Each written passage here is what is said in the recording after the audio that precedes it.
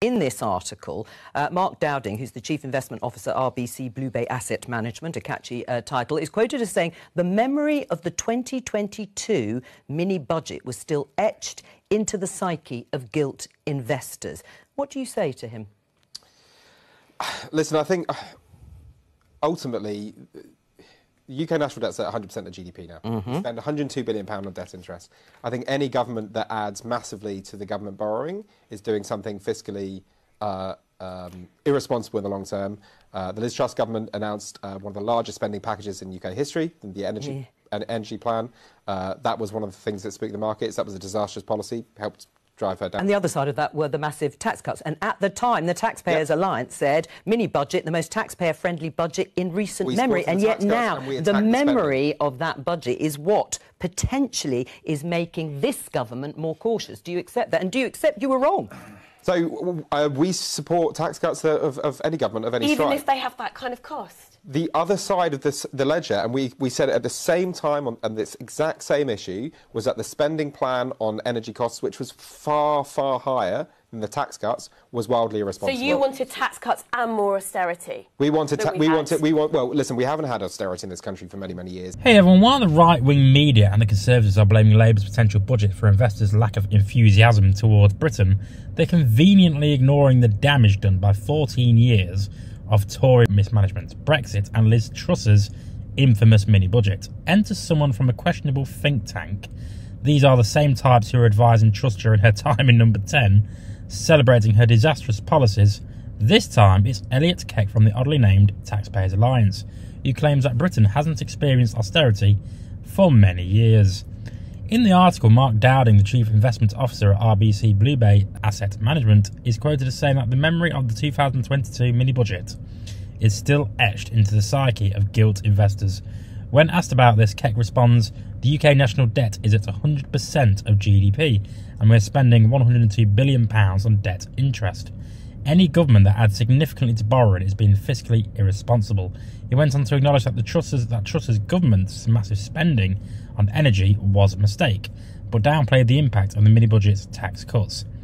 The Alliance praised the mini budget as the most taxpayer friendly budget in recent memory, but now that its memory is haunting the current government, Keck is reluctant to admit that they were wrong. Instead, he insists on tax cuts and more austerity, claiming we haven't actually had austerity in this country for many years. Really? It seems Keck has forgotten that austerity, austerity has been a defining feature of Conservative policies since they took power. Whilst Rishi Sunak's administration may have increased spending slightly, austerity measures have been in place since the Tories came to power. The fact that Keck shows no shame in denying this is remarkable, and it raises the question why is the BBC giving the Taxpayers Alliance a platform? These are the people who advised Liz Truss Yet Keck won't apologise or admit his organisation was wrong. Their agenda has always been about tax cuts for the wealthy and slashing public services. It's clear that they prioritise tax breaks for the rich over the well-being of ordinary people, even if it means public services are gutted. This is the real aim of the Taxpayers Alliance, protecting the interests of the wealthiest by pushing the policies that benefit them while ordinary people suffer. The disdain for public services like the NHS or the, or the, or the welfare system entirely is evidence. They oppose the idea of wealth redistribution and paying taxes to support society.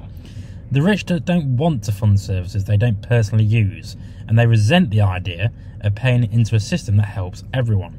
The rich back these shadowy think tanks like the Taxpayers Alliance, which in turn advise politicians such as Liz Truss.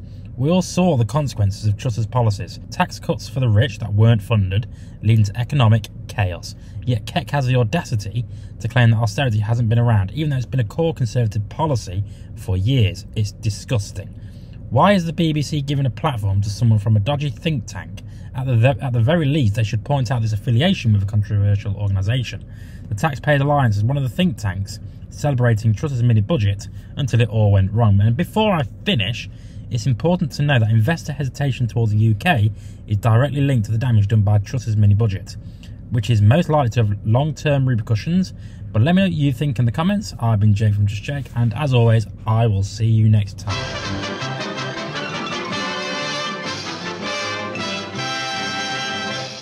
You actually made it to the end of the video. If you would like to subscribe to the channel, which, why haven't you already, is somewhere over there.